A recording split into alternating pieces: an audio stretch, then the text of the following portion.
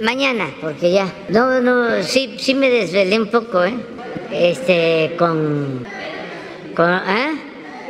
No, eh, este, es que sí, sí estaba fuerte y como estaba muy lleno, pero mucho, muy lleno, este, sí me paré para como a las 11, bueno, eh, desde las 8, desde que empezaron, estuve ahí, claro, este, discreto, este, pero sí estuve pendiente y estaba ahí también la jefa de gobierno en su despacho. Entonces llegó el momento en que era muchísima gente, mucha gente, y se tomaron medidas, ayudaron, el cantante del grupo habló de que todo en paz y la verdad, este, muy bien todo y se abrió corregidora este, porque mucha gente y eh, siempre son riesgos. Pero fíjense eh, cuando se trata de algo sano de diversión de música la gente va a eso contentos las parejas hasta familias. Y me decía Beatriz ¿y por qué traen a los niños? Digo, no porque la mamá del niño también le gusta el grupo y este pero todo todo muy bien. Y luego como a las once y media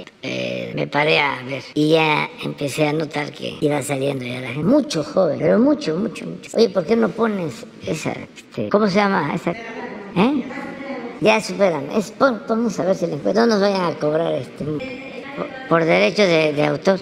Es que el cantante participó con eh, Beatriz en uno de los fandangos de lectura en Michoacán y cantó esa eh, canción. La verdad, yo hasta entonces me enteré del grupo, pero lo que vi ayer me dejó, como diría mi paisano refinado Santa María, anonadado. Qué capacidad de convocatoria. En el caso de los artistas que yo recuerdo, porque aquí estuvo Juan Gabriel, buenísimo, buenísimo, era yo jefe de gobierno y dijo algo que comentó también el cantante de ayer. Dijo, eh, aquí vamos a estar toda la noche hasta que llegue el jefe de gobierno.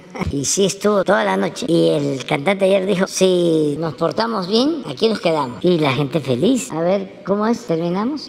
Hasta ahí, nada más. Pero eso es el fenómeno. Espero que no se vayan a enojar los este, fifi. Bueno, adiós, adiós.